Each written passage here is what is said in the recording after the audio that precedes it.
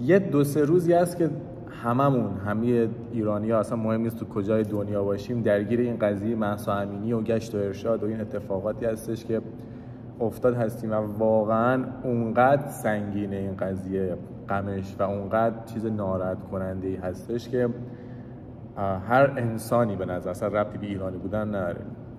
یک کوچولو به این قضیه نگاه کنه می‌فهمه چقدر واقعا ظلمیه که داره در حق اون مردم میشه در حق اون دخترای اون کشور میشه که از ساده ترین حقشون اصلا نمی‌تونن هیچ دفاعی بکنن و بر خیلی خیلی راحت یعنی مثل آب خوردن هست میشن میمیرن. تو سن 22 سالگی تو سنی که وقتی من نگاه می‌کنم مثلا تمام دخترای سن 22 توی آمریکا چجوری دارن زندگی می‌کنن؟ و یه نفر با سن 22 سالگی تو ایران هنوز درگیر اینه که آقا مثلا موهاش دیده شده و باید کشته بشه سر این قضیه. واقعا از ایرانی بودن خودم یعنی از اون چیزی که اسمم مثلا تو شناسنامه واسم زدن ایرانی واقعا احساس شرمندگی می‌کنم. یعنی واقعا احساس تاسف می‌کنم از اینکه من تو یک همچین منطقه‌ای تو همچین برهه‌ای از زمان به دنیا آمدم. شاید من به عنوان یک فرد کوچکی از جامعه تمام ایرانیایی که در واقع تو کل دنیا هستیم. این خبر رو از وقتی که شنیدم میگم کلا درگیرم یک سر مثلا اینستاگرام دارم چک می‌کنم توییتر چک می‌کنم این ور اون چک می‌کنم. یه خبری یا اتفاق افتاده افتاده دیگه. خب خیلی خیلی اتفاقات مشابه این ممکنه بیفته. هیچ کسی حتی حاضر نیست یه کاری بکنه. این خیلی سختتر قضیه. حتی این ایرانیایی که تو آمریکا زندگی می‌کنن. چهار میلیون ایرانی ما تو آمریکا داریم. من فکر نکنم صد هزار نفرشون هم واسه این قضیه بیشتر از صد هزار نفرشون واسه این قضیه کار کرده باشن. یا حتی یک استوری گذاشته باشن نمی‌دونم یه توییتر گذاشته باشن. اینقدر نسبت به این قضیه بیخیالم. و اینقدر نسبت به قضیه بی احساس اصلا واسه مهم نیست. خب الان مثلا طرف مرده. ترس از چیه؟ ترس از چیه؟ واقعا نمی‌دونم. ولی آخه اینو تو هیچ کاتگوری نمیشه قرار داد. نه تو کاتگوری مذهبی میشه قرار داد. نه سیاسی میشه قرار داد نه ملی میشه قرار داد. آقا یک آدم واسه اینکه شالش افتاده مرده یعنی کشتنش در واقع. و اینو من خیلی سعی کردم ببینم یه مورد مشابهی می‌تونم پیدا کنم. مثلا تو آمریکا اتفاق افتاده باشه نمی‌دونم تو اروپا اتفاق افتاده باشه. هیچ جای دنیا اصلا هیچ جای دنیا تو هیچ برهه ای از تاریخ شاید واقعا همچین چیزی مسخره ای رو نشدید که یک دختر که حالا تو فیلماش هم حتی ما می‌بینیم زیادم حجاب عجیب غریبی نداره. کشته میشه و هیچ کسی هیچ گونه رفتاری که مثلا میگه آقا پشیمونیم یا اینکه مثلا آقا ما شرمنده همچین اتفاق افتاده اصلا. مثلا می‌بینید طرف اون وقت میگه که تو ایران چرا فلک زدیم چرا بدبختیم. آقا دیگه یک بود انسانی کوچیکش وقتی ما نمی‌تونیم درست کنیم می‌خوایم تو بودای مدیریتی مثلا تو تکنولوژی می‌خوایم پیشرفت کنیم.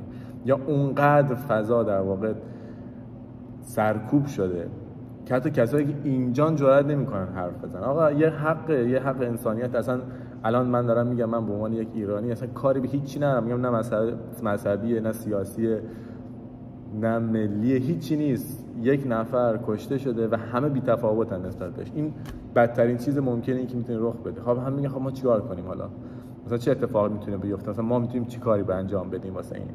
و این واقعا اون فاجعه نشون میده که ما چقدر نسبت به زندگی کردن توی ایران سوس شدیم و در واقع بیهس شدیم. مثلا مهم نیست واسمون چه اتفاقی داره اطرافمون میافته.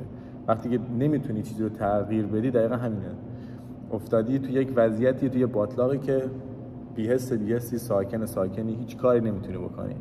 و واقعا وضعیت بدیه. میام این ولاگو دوست داشتم یه جور دیگه تهیه کنم. دوست داشتم در مورد صحبت بکنم که مثلا اتفاقات مشابهی که افتاده چه جوریه.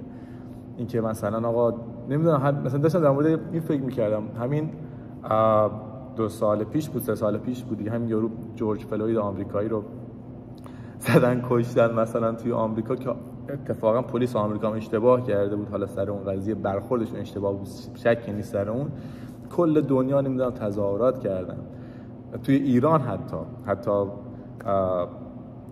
سران کشور اومدن در مورد این قضیه صحبت کردن که آقا نمی‌دونم یه نفر پلیس پاشو گذاشته رو گردن یک سیاه پوست و سیاه پوست و کشته و بیگناه بود و و این همه دم از حقوق بشر و دفاع از حقوق بشر می‌زنیم ولی توی ساده ترین چیز داخل کشورمون هنوز مشکل داریم.